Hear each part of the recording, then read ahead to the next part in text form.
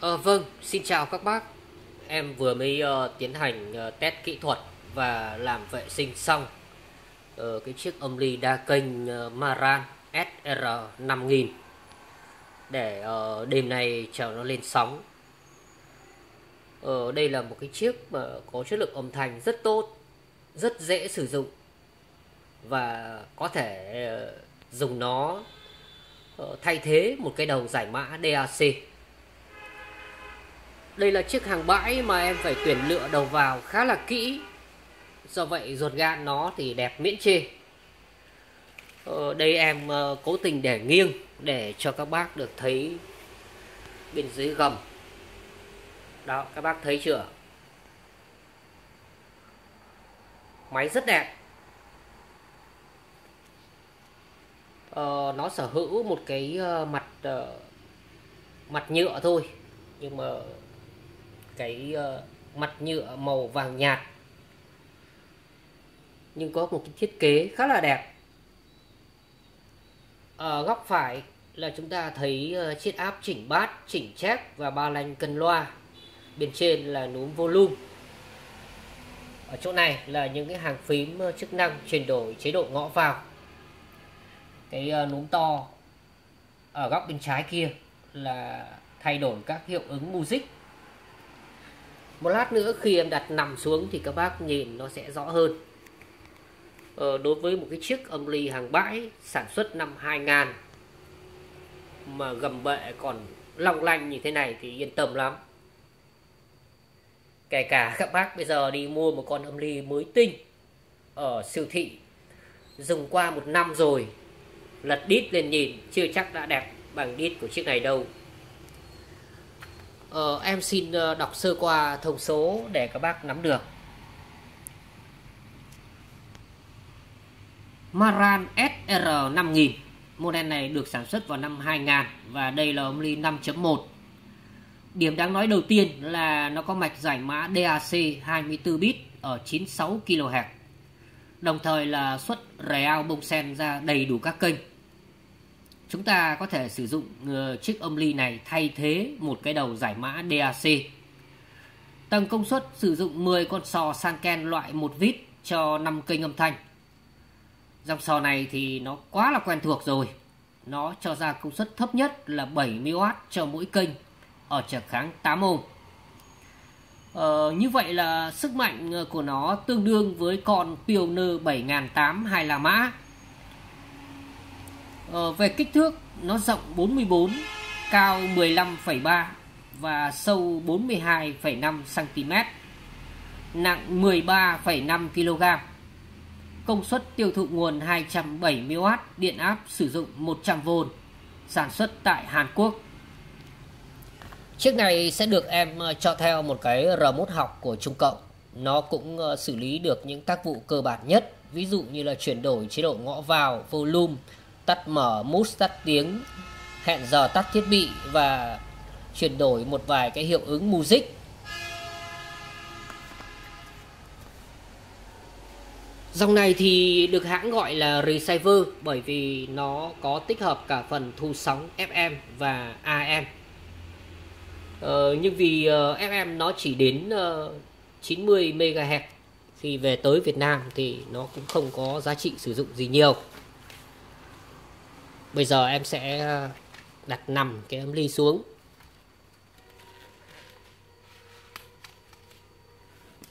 Ờ, Chúng ta sẽ nhìn rõ hơn về cái mặt mặt trước.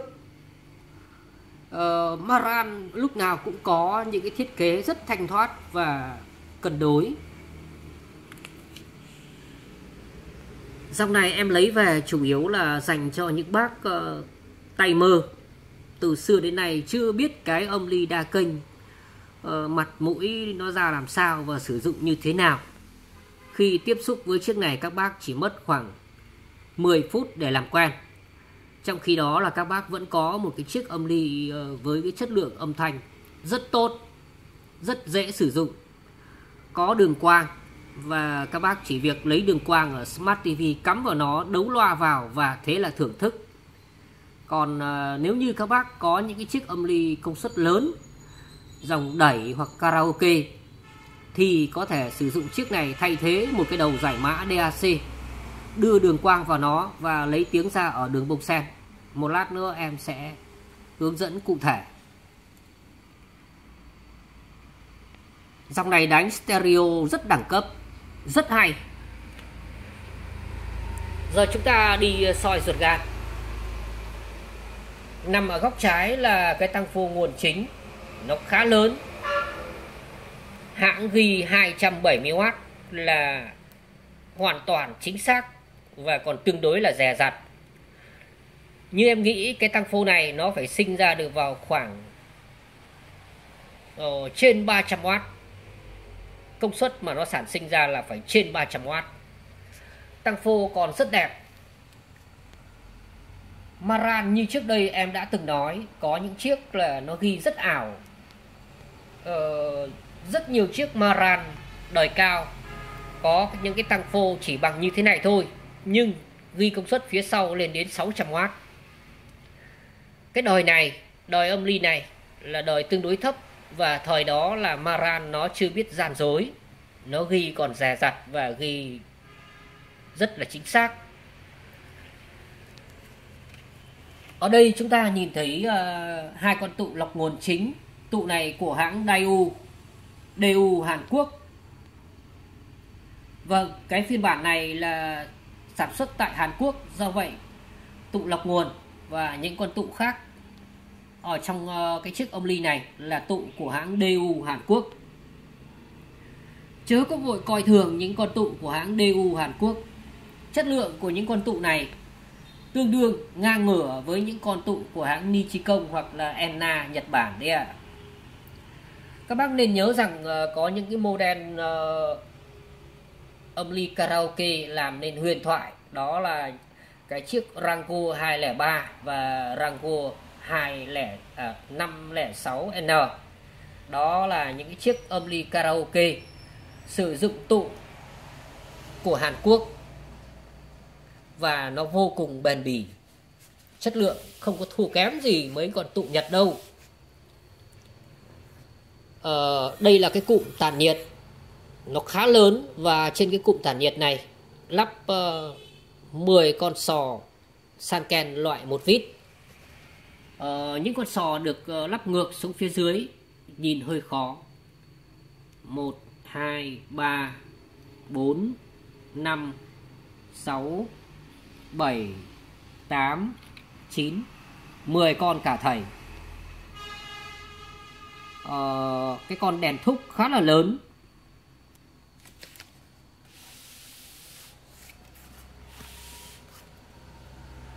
Ờ, bên này chính là bên tiền khuếch đại cho phần công suất. Tụ của DU nhưng mà những con sò kể cả những con sò của bên phần đệm đều là sò của hãng Sanken. Đây các bác nhìn thấy chưa? Chữ SK là của hãng Sanken. Như vậy bước đầu là chúng ta thấy ờ, những con tụ ở trong âm ly là tụ của hãng DU Hàn Quốc. Tặng phù đẹp lắm. Không chê được. À, đây là cái dây nguồn vào và trên cái dây nguồn vào chúng ta thấy nó có một cái nam châm. Tác dụng là chống uh, chống nhiễu ờ, uh, xung xung tạp đầu vào đây ạ. À.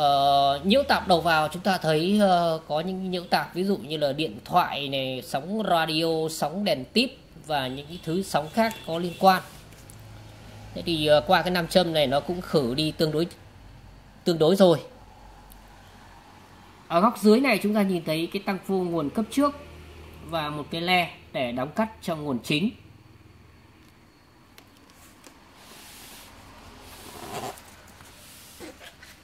Mên này chính là mên giải mã DAC ờ, Chúng ta thử uh, soi vào đây coi nó dùng cái gì.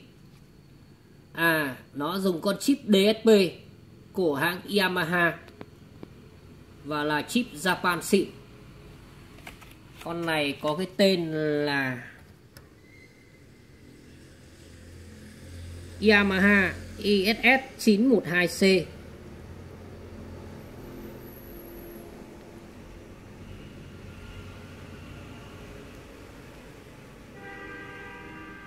con này của hãng nào em chịu không nắm được. Chip giải mã là của hãng nào em không nắm được.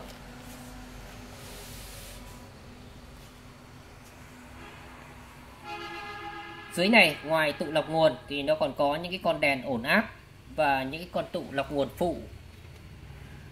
Ờ, mình vì còn rất đẹp sạch và đẹp.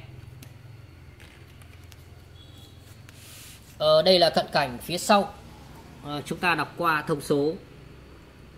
Maran SR5000 F1N điện áp sử dụng 100V tần số điện lưới từ 50 đến 60 Hz công suất tiêu thụ 270W Made in Korea. Số series có cái đuôi là 000457 ờ, nó có một đường quang duy nhất một đường quang vào duy nhất và hai đường đồng trục. Giải mã 24 bit ở 96 kHz tín hiệu quang sau khi được giải mã sẽ được xuất ra ngoài theo giao thức real. Đầy đủ các kênh. Các bác có thể nhìn thấy cái cụm ờ, 6 rắc ở đây. Thế thì ờ, chiếc này ngoài cái nhiệm vụ là âm ly, thì chúng ta hoàn toàn có thể sử dụng nó thay thế một cái đầu giải mã DAC bằng cách là đưa đường quang vào ngõ này và đường tiếng lấy ra chúng ta lấy ở hai cái rắc trắng đỏ qua chữ phông. Ở đây. Ờ, em sẽ có trình diễn ở đoạn sau video. Chỗ này là đường đấu anten để nghe sóng AM và đây là đường ờ, đấu anten nghe sóng FM khoản này thôi coi như em không tính. Về phần loa thì nó đánh được 5 loa cùng một lúc bao gồm hai loa chính phông một loa cancer và hai loa reed tức là surround công suất của các cọc loa này đều bằng nhau và đều cho ra công suất thấp nhất là 70W cho mỗi cọc. Ở trở kháng 8 ohm.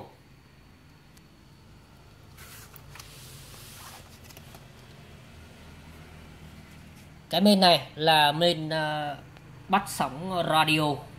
Chúng ta nhìn thấy uh, những cái cuộn dao động những cái con IC bên phần à, radio bên này là bên ờ, xử lý đường ờ, audio in đầu vào và chứa những con chip ờ, xuất real.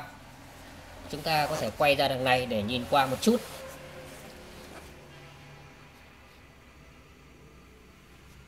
Vâng con chip ở góc xa đằng kia chính là con chip ở bên phần uh, xuất rè đây ạ.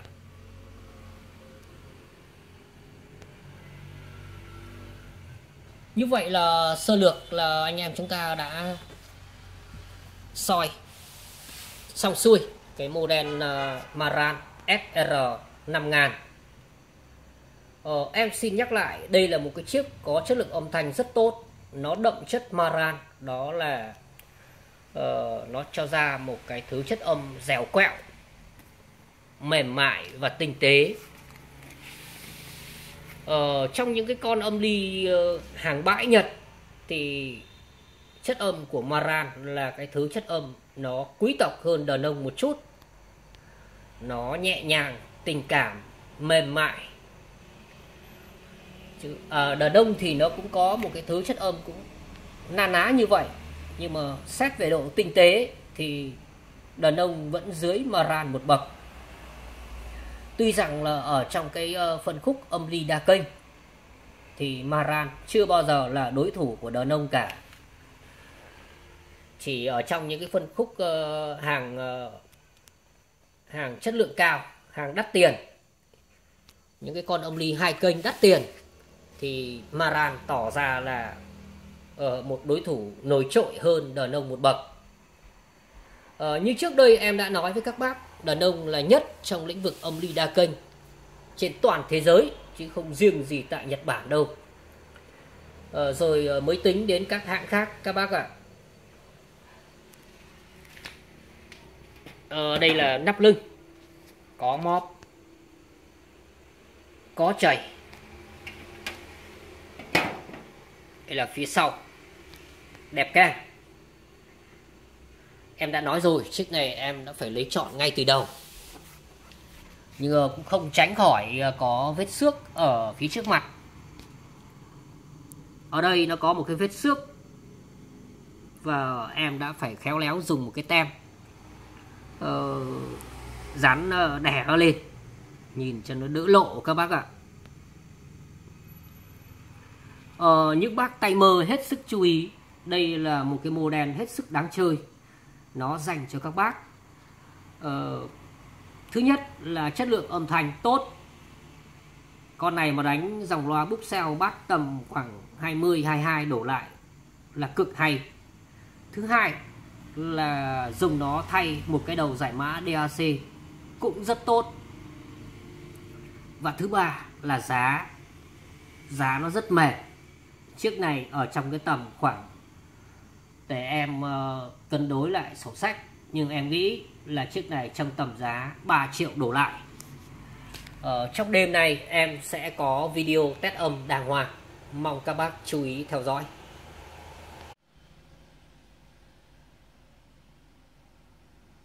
À, vâng, bây giờ thì em xin phép được uh, test âm chiếc Maran SR 5000 Ở đoạn test đầu thì là chúng ta sẽ nghe bằng uh, cái kết nối AUX analog điện thoại. Uh, sẽ nghe một đoạn uh, một nửa bài chúc đạo do ca sĩ Mạnh Đình trình bày.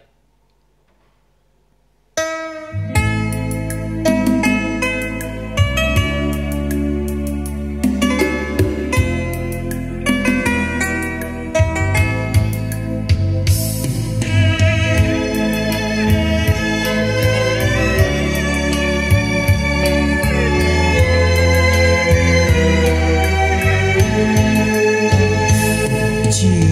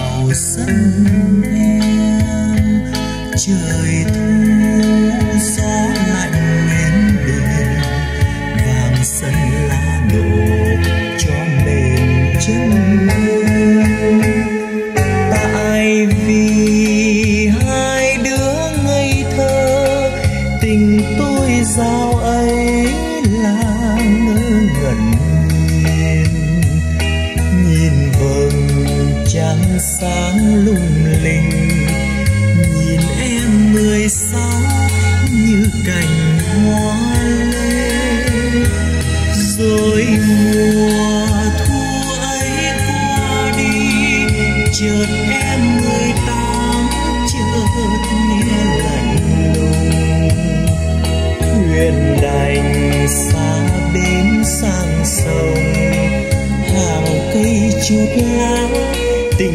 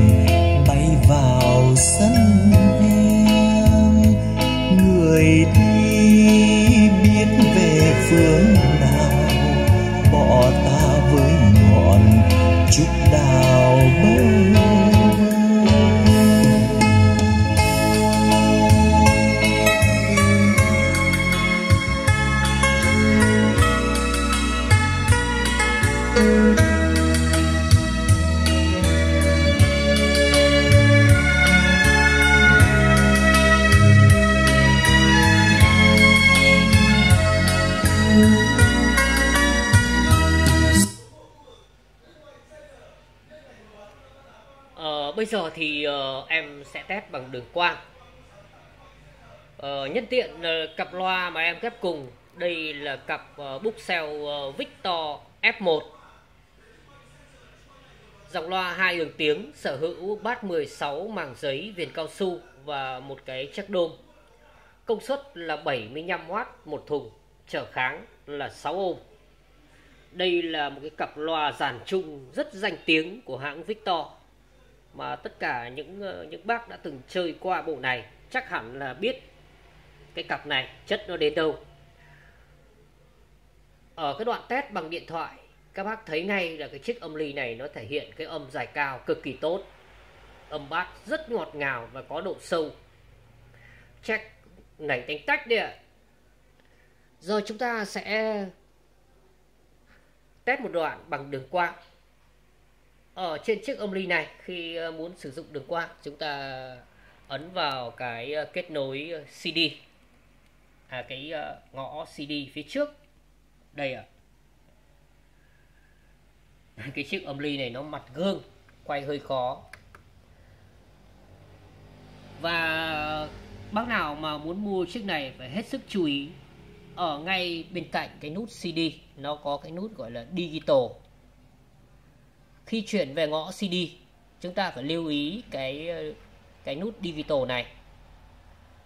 Khi ấn vào ví dụ nó hiện chữ coaxial 1 thì chắc chắn là nó sẽ không thông đường quang đâu. Ấn tiếp, nó ra chữ coaxial 2 đó là đường đồng trực thứ hai, cũng không phải là đường quang đâu. Khi nó hiện chữ analog, thì chắc chắn nó không phải là đường quang rồi. Lúc đó nó sẽ chuyển cái ngõ CD này về cái đường bông sen. Chúng ta phải để đúng cái chữ optical đó.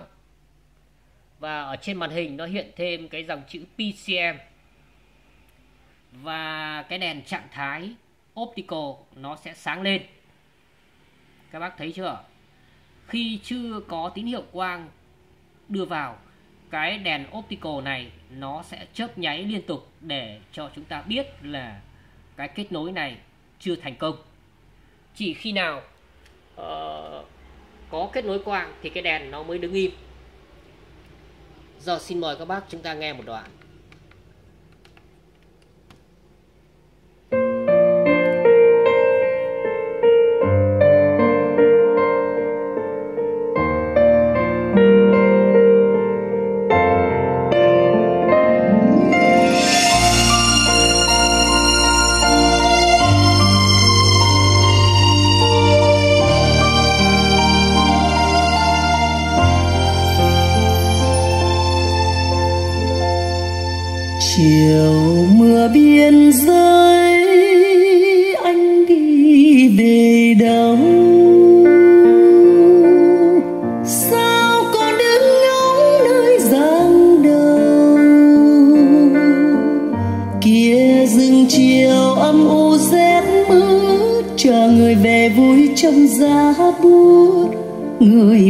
Người bờ vơ.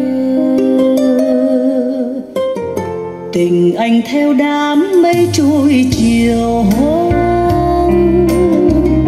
trăng con khuyết mấy hoa không tàn cờ về chiều tung bay phất phới, gợi lòng này thương thương nhớ nhớ bầu trời xanh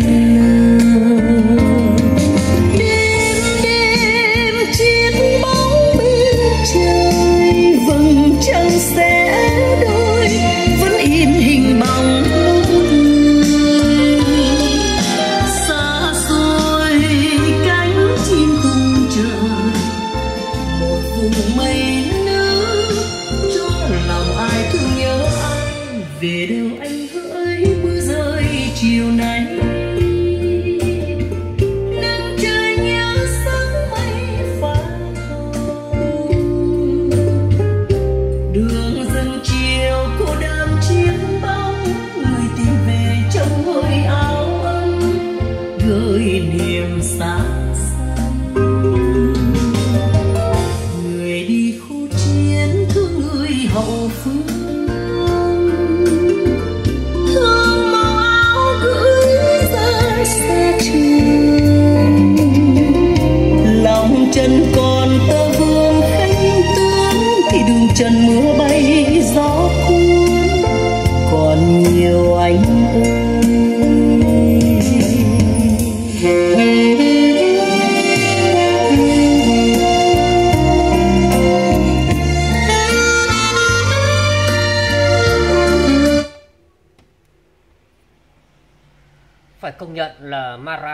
có một cái thứ chất âm rất riêng các bác ạ.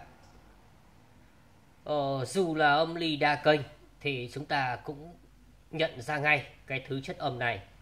Nó tương tự và gần giống như những cái con âm ly hai kênh ờ, mà hãng này sản xuất ra một cái thứ chất âm nó mềm mại nhẹ nhàng tinh tế đặc biệt là âm dài cao rất hay nó trong sắc sắc nhưng lại rất ngọt. Đó. Âm bát mềm mại nhưng lại có độ sâu. Đó là một trong những cái thứ bí quyết mà không phải hãng nào cũng có được. Ờ, trong cái tầm giá này thì em nghĩ là chiếc này nó sẽ vượt mặt rất nhiều chiếc khác. Ờ, em bán chiếc này với giá là 2 triệu 8 kèm theo cái remote này trên cái remote này chúng ta có thể chuyển đổi các chế độ ngõ vào volume. Uh, chuyển qua lại một vài cái hiệu ứng âm thanh vòm. Đó. Sleep hẹn giờ tắt thiết bị boost tắt tiếng tắt mở nguồn. Được nhiều đó thôi các bác ạ à. bởi vì là đối với cái model này chỉnh bát chỉnh check là nó trên uh, mặt máy và là uh, trên áp cơ như vậy là chúng ta đã đi được 2 phần 3 quãng đường. Ở đoạn sau video em sẽ test nó với vai trò của một chiếc đầu giải mã DAC À, ờ, vâng, bây giờ thì em xin ờ, test tính năng tiếp theo trên chiếc âm ly Maran SR5000 Đó là tính năng giải mã DAC và xuất real bông sen. Uh, Gì em không biết chứ riêng mà cái chất lượng giải mã ấy thì những cái con đầu ờ, giải mã ví dụ như là Pioneer D7 Không bao giờ có cửa sánh được với cái chiếc Maran này Về chất lượng xuất âm các bác phải hiểu rằng cái ờ, đầu giải mã Pioneer D7 mà các bác mua về, nó cũng chỉ là đầu giải mã 24 bit ở 96 kHz mà thôi. Và chiếc âm ly này nó cũng giải mã 24 bit ở 96 kHz. Nhưng nó có một cái lợi thế tuyệt đối so với cái con đầu Pioneer D7 kia. Đó là ở khoản nó cho phép chỉnh bát, chỉnh check thoải mái. Rõ ràng cái đầu D7 đắt hơn cái chiếc âm ly này rất nhiều nhưng ờ, về công năng và hiệu năng nó thua xa đấy các bác ạ. À, trước khi bước vào bản test thì em xin mời các bác chúng ta vòng ra phía sau để xem qua một chút về cái trình tự đấu nối bác nào đang chuẩn bị mua chiếc này hết sức chú ý. Đoạn video này chính cũng ờ, là cái hướng dẫn cho chính bác đấy. Đường quang ở Smart TV đây à đường quang ở Smart TV các bác cắm vào cái ngõ duy nhất ở trên cái chiếc SR 5000 này. Và đường tiếng lấy ra. Các bác lấy ở hai cái rắc trắng đỏ ở trên cái cụm uh, 6 rắc nó ghi là 6 CH output này. Hai cái rắc trắng đỏ có chữ phông. Đó. Chính là đường xuất real bông sen. Công việc uh, để nó làm giải mã đơn giản vậy thôi. Còn uh, từ cái đường xuất này thì chúng ta đưa xuống uh, những cái con âm ly công suất lớn của nhà chúng ta. Ví dụ như là âm ly karaoke hoặc có thể đưa vào vang số, vang cơ. Rồi từ cái vang số, vang cơ đó thì chúng ta đưa vào con âm ly karaoke. Coi như cái ờ, chiếc ờ, âm ly Maran SR 5000 này chính là một cái đầu giải mã DAC thực thụ. Các bác có thể thấy ngay là toàn bộ các cọc loa trên chiếc SR5000 em hoàn toàn không đấu loa vào đây.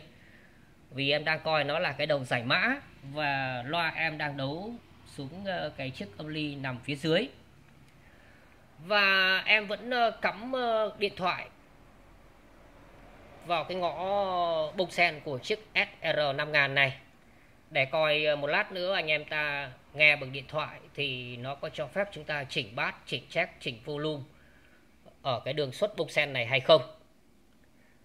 Trình tự đấu nối đã xong. Bây giờ xin mời các bác chúng ta bước vào bản test.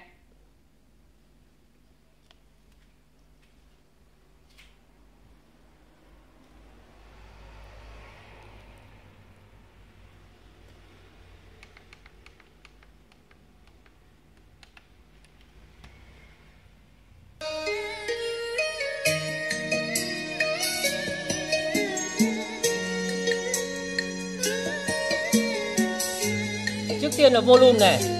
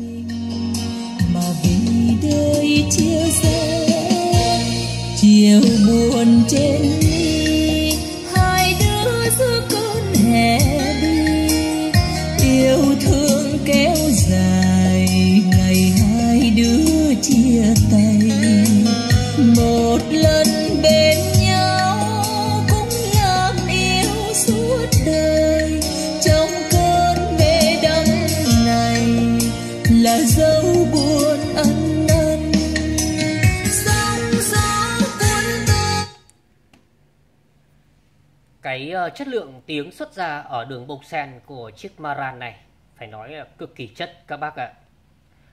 Thứ nhất là nó sạch. Thứ hai là cực kỳ trong trẻo. Đặc biệt giải âm trùng cao rất hay. Chắc lên rất trong mà hoàn toàn không bị xé. Âm bát cũng vậy, bát mềm mượt và rất sâu. Như thế này thì những cái con ờ, đầu Pioneer D7 mà các bác mua về làm giải mã sẽ không bao giờ đủ tư cách để mà so sánh được với cái chiếc Maran giá chưa đến 3 triệu đồng này. Đó là ở đường giải mã ờ, uh, DAC. Còn bây giờ chúng ta thử coi khi chúng ta nghe bằng điện thoại thì nó có cho chúng ta chỉnh bass, chỉnh check, chỉnh volume hay là không.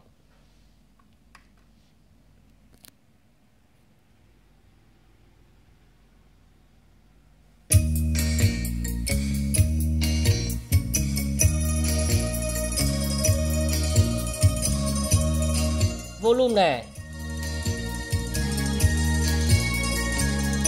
giảm chắc này ngày em ra đi Tăng chắc này. em chỉ mang con tim hành lý. Giảm bass này quên mùa đông cho tháng năm anh thêm Tăng này. volume này dìu nhau trong cơn mê đầy giờ đôi tay ấy lau ngấn lệ ngàn đời bị chiều trên sân ga, tia nắng nghiêng nghiêng xuyên ngàn lá. Giấc mơ đời ta theo chuyến xe tan trong nhạt nhòa. Bên nhau phút này, làm sao anh xa con tàu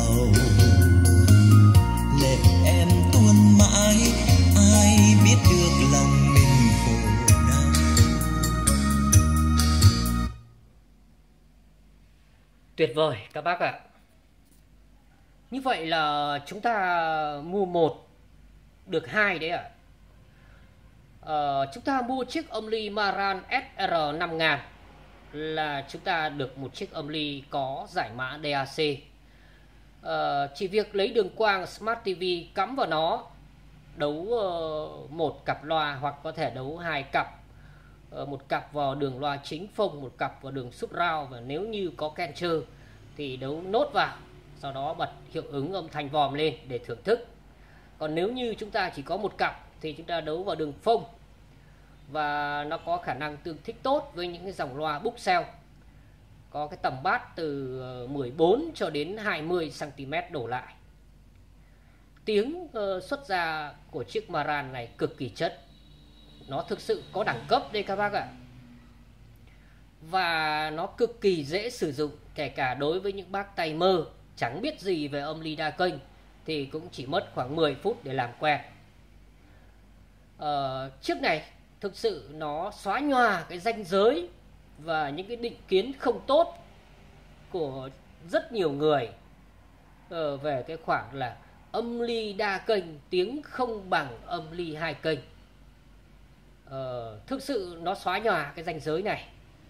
Và em cũng muốn bán chiếc này với tư cách của một chiếc âm ly hai kênh có tích hợp giải mã DAC đó là một. Cái thứ hai là nếu như trong nhà các bác có những chiếc âm ly công suất lớn hơn cục đẩy hoặc âm ly công suất lớn hơn thì có thể dùng chiếc Maran SR 5000 này uh, với tư cách của một chiếc đầu giải mã DAC. Qua những cái đoạn trình diễn vừa rồi, chắc là các bác đã nắm được rồi. Có thể nói chiếc này dù sử dụng với tư cách nào cũng đều tròn vai cả và giá thì rất hợp lý. Trong tầm giá này, em dám chắc kể cả những con Onkyo, kể cả những con Yamaha và thậm chí là đờ nông trong tầm giá dưới 3 triệu sẽ không có chiếc nào đủ level mà so sánh được với cái chiếc Maran SR 5000 này đâu các bác ạ. À. Rất dễ sử dụng, chất lượng âm thanh tốt, giải mã tốt, xuất real bông sen tốt. Còn chần chờ gì nữa mà không chơi. À, bác nào có nhu cầu muốn sở hữu chiếc này thì liên hệ trực tiếp với em theo số điện thoại em để ở chú thích video. Xin cảm ơn tất cả các bác đã dành thời gian cho video này.